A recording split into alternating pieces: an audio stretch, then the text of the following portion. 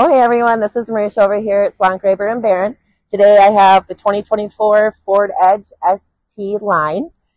As you can see, it's a sharp looking car. It also has a lot of features to offer. You get a remote start, keyless entry. You also have extra space in the back if you need to haul anything. You can put those seats down and give you that extra space. And if you take a look at the front, you can see that you have a touchscreen display. You also get um, heated seats, heated steering wheel. It is all-wheel drive. Um, so come on down, take it for a test drive, or you can give us a call at 715-537-5657.